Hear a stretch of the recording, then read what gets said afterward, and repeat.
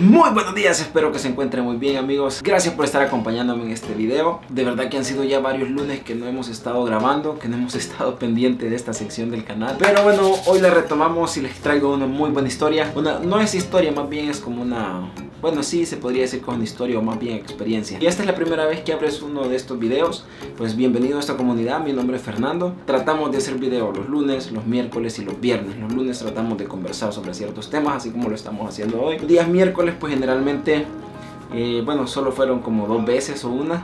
Estuvimos hablando de tecnología, pero vamos a tratar de retomar esa sección del canal para poder hablar un poquito más más que todo sobre fotografía, video, edición, cosas así, uno que otro gadget. Y bueno, los viernes generalmente los dejo para los viajes. Así que bueno, si estás aquí considera suscribirte. Así que comencemos con el video y bienvenidos.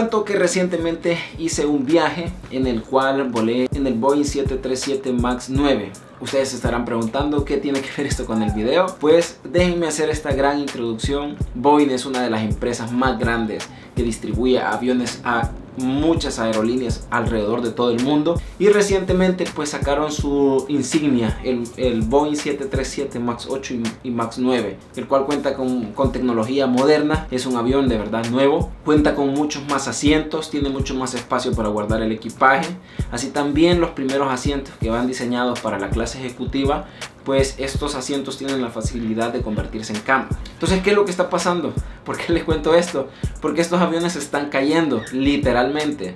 Y pues les quería contar mi experiencia, ya que tuve la oportunidad de volar en uno de ellos. Curiosamente, al siguiente día dieron órdenes prácticamente en muchos países de que estos aviones no podían volar más. Hace quizás unos dos meses compartiéndoles en Instagram, por cierto, si aún no me siguen en Instagram, les dejo acá mi Instagram para que me puedan seguir. No posteo historias muy seguido, pero sí muchas fotografías para que las puedan ver y me regalen un corazón. Pero en una historia les conté que una de las cosas que a mí siempre me ha dado fobia es viajar. Una de las cosas que siempre me ha dado fobia es subirme a un avión. Y aunque parezca tonto, pero la verdad es que sí, me da bastante miedo volar en los aviones. A raíz de este temor que tengo, casi siempre que vuelo, nunca puedo dormir en el avión porque tengo esa paranoia de que, que algo va a pasar y tratar de dejar un mensaje para las personas que amo y todo eso. Pero bueno, esas simplemente son eh, consecuencias del miedo que tengo. Y podría parecer tonto porque actualmente, bueno, en el año a veces tengo que viajar 22, 24 veces por año. Subirse en un avión en, en un vuelo aproximadamente de 5 horas. Bueno, les miento, les miento más. Con conexiones quizás me subo en unos 40 o 44 aviones al año. Entonces esto a veces me genera así como un poquito de miedo. Me genera miedo porque la primera vez que vuelas y el avión se va elevando y va viendo cómo todo aquello que siempre ha sido normal, cuando ves que todo aquello que ha sido normal se comienza a hacer inmensamente pequeño, te das cuenta que si te caes de arriba, eh, o sea, estás, estás frito, no hay forma de sobrevivir a eso. Y bueno, las estadísticas eh, son pocas en accidentes de aviones, de hecho viajar, eh, subirse a un avión es una de las cosas más seguras que hay. Sin embargo, siempre suceden accidentes. En el mundo actualmente hay de 36 a 39 millones de vuelos eh, al año, entonces eso es bastante. En el 2013 nada más subieron 36 millones de vuelos, eh, datos reales y de estos 36 millones de vuelos, únicamente 29 vuelos pues tuvieron accidentes mortales. Esto incluía avionetas, eh, aviones de carga, aviones comerciales, entre otros. Pero relativamente podríamos decir que viajar es algo muy seguro. Eh, tengo amigos que han estudiado, que se han preparado acá en El Salvador para para poder trabajar en el mantenimiento de los aviones y me cuentan que es algo muy minucioso, es algo exageradamente detallado, o sea, cada tuerca, cada tornillo, cada cosa que se hace en el avión va documentada. El margen de error lo han tratado de reducir al mínimo posible. A pesar de que transportarse sea una de las cosas más seguras que existe en el mundo, siempre me ha dado ese miedo. Y les cuento que he visto muchos documentales sobre accidentes, uh, sobre catástrofes aéreas, un programa que tenía National Geographic. La verdad es que da bastante miedo. No me puedo imaginar que vaya descansando, tengan que despertar porque hay turbulencia o, porque el piloto está diciendo prepárense, hagan sus oraciones o nos vamos a estrellar o cualquier cosa. De hecho, hace poco antes de grabar este video estaba viendo un clip que un pasajero había grabado eh, cuando el piloto les decía que tenía miedo y que por favor oraran para que no se estrellaran. Es una pena que por descuidos, por fallas técnicas, por fallas de software, por lo que sea, las personas que toman un vuelo para vacacionar, para trabajar, para reunirse con su familia, pues hayan tenido que pues partir de este mundo. Boeing sacó su avión estrella, el Boeing 737 MAX 8 y 9. A la fecha ya sucedieron dos accidentes y pues lastimosamente fueron mortales, no hubieron sobrevivientes. Más de 300 personas perdieron la vida ya. Y algo que me sorprende bastante es que después de los accidentes está saliendo a la luz que muchos pilotos ya habían notificado a sus jefes inmediatos sobre las inconsistencias que sentían en este avión durante sus periodos de vuelo. Por alguna razón siempre que he visto documentales de catástrofes aéreas, al final terminan culpando a los pilotos. Y no me sorprendería que compañías de las cuales las cuales mueven millones, millones de dólares y hay inversionistas y mueven grandes cantidades de dinero, pues tratarán de cubrirse las espaldas. Y es muy fácil culpar a alguien que no tiene la voz para defenderse. ¿Por qué digo esto? Porque siempre, siempre que sucede una catástrofe aérea, eh, los aviones tienen algo que se llaman cajas negras, en las cuales se registran muchos datos de vuelo, así como también muchas grabaciones. Siempre que analizan la caja, la caja negra de un avión que ha tenido una catástrofe, pues al final se da un dictamen para que las familias eh, puedan saber qué fue lo que pasó con sus familiares fallecidos. Ha salido a la luz que estos aviones pues entraban en pérdida. Entrar en pérdida les voy a tratar de explicar de manera sencilla que es. Antes de decir esto quiero decirles que yo no soy, no he estudiado aviación, no soy un experto en aviones, pero esto es lo que, esto es, esto es lo que ha salido a la luz y creo que es fácil de comprender. Por ejemplo, imagínense que este es el avión. Entonces, esta es su punta. Eh, en España creo que le dicen morro a la punta del avión.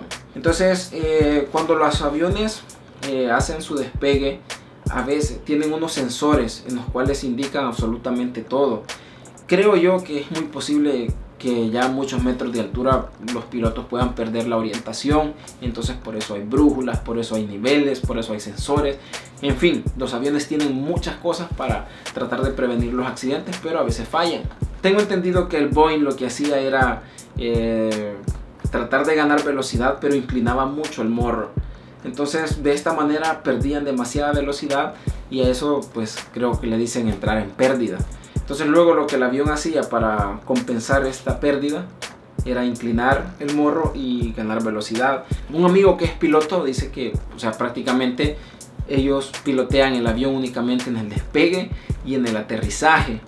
Entonces la mayoría del tiempo el avión se mantiene en piloto automático. Y esto me da...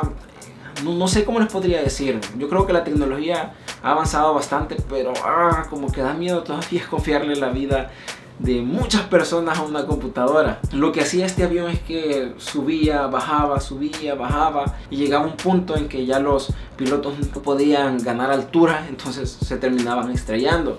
Por ahí también he leído también que porque uno de los motores estaba no estaba alineado al otro motor, entonces estaba como más adelante del ala y eso hacía que entrara en pérdida. Y bueno, pueden haber muchas explicaciones, posiblemente si ustedes lo googlean y si ustedes son pilotos o si hay un piloto tal vez viendo este video, pues puede dejar sus comentarios y su explicación abajo. Y siempre se usa la comparación de que volar es mucho más, es mucho más seguro que ir en un coche.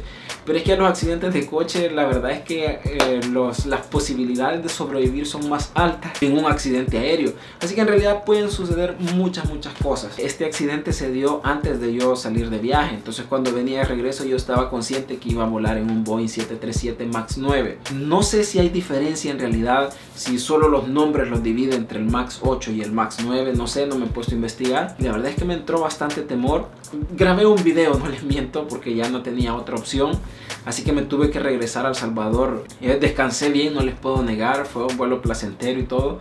Pero no les puedo negar que venía con miedo, venía pensando qué pasa si esto se descontrola, si la computadora de este avión se descontrola y al final pues todos los que venimos aquí nos morimos. Y a pesar de que documenté el viaje y a pesar de que posiblemente no sé si voy a sacar el video, pero si lo saco, me van a ver que eh, no, esto, no me sentía muy cómodo. Bueno, la verdad es que todo esto a uno le recuerda lo frágil que es la vida, lo lo fácil que puede ser perder la vida. A veces pareciera de que estamos hechos de, de tantas vidas, pero la verdad es que no.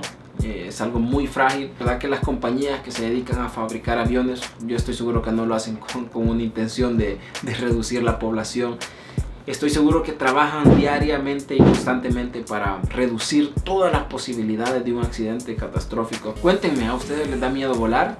¿A ustedes alguna vez han volado? Eh, si no han volado, les gustaría volar de verdad. recuerden que pueden suscribirse a este canal. Abajo en la descripción de este video están los links de mis redes sociales para que me puedan seguir. Y nos vemos en la próxima.